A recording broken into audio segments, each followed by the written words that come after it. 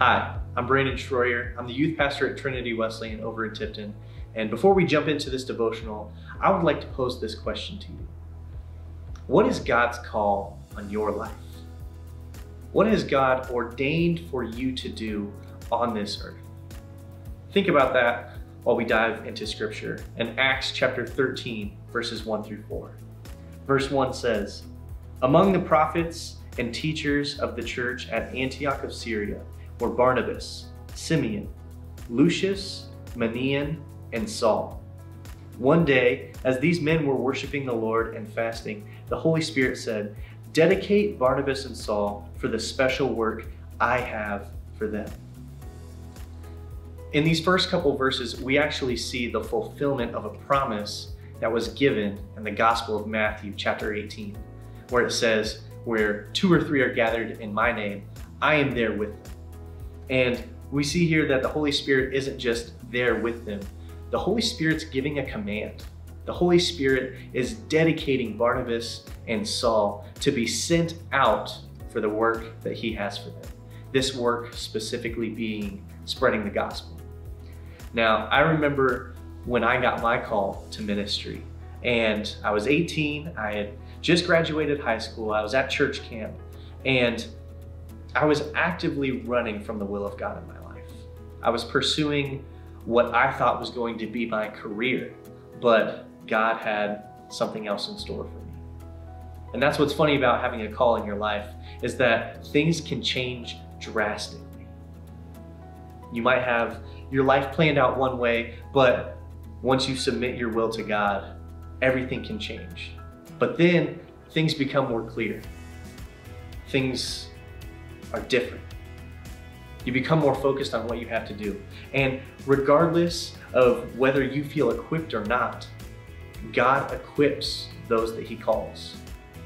God doesn't call those who are equipped. It's easier to teach a servant to lead than it is to teach a leader to serve.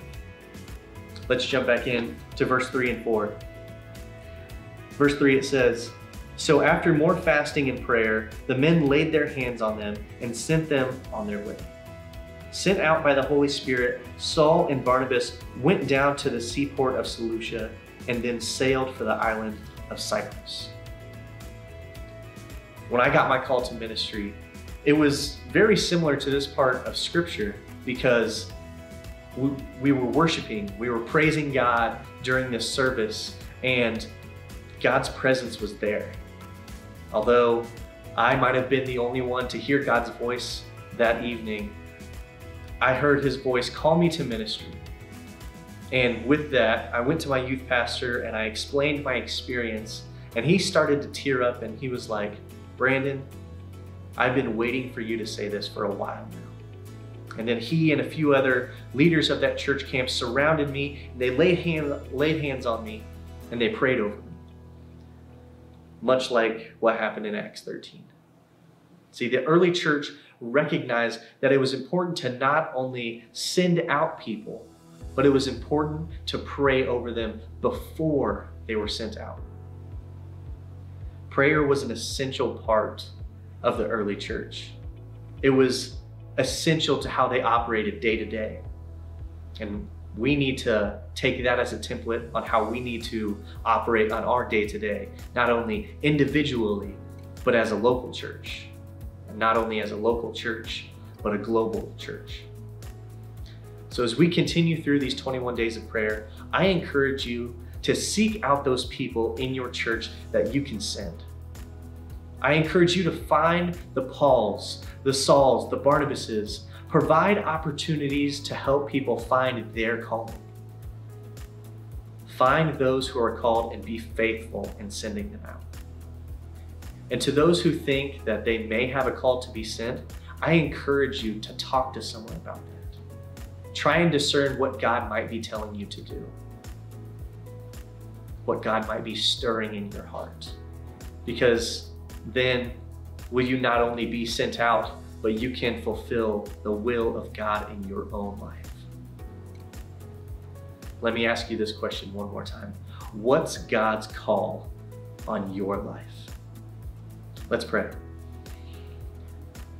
Father, as we are seeking your face through this time of prayer, I pray you reveal yourself to us. May it be through worship and praise or fasting and prayer. Show us your will so that we can align ourselves with you and not any other standard of this world.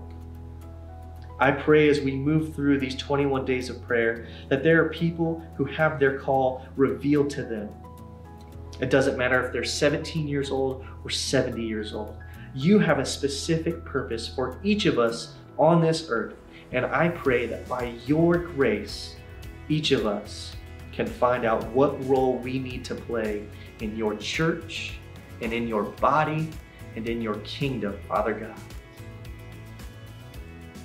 Holy Spirit, I pray that we as a church would be faithful to you, not only in finding the people that we are called to be sent, but to send out those who are being called, and that we are faithful in actually sending them out. That we as a church can encourage and support those who feel called to do the work you have set before them. Holy Spirit, pour out your grace upon us and allow us to submit to you not only as individuals, but as your church. May we praise you in all we do. May we honor you in word and deed. In the name of the Father, Son, and Holy Spirit. Amen. Take a few minutes and go over the prayer points that are provided for you.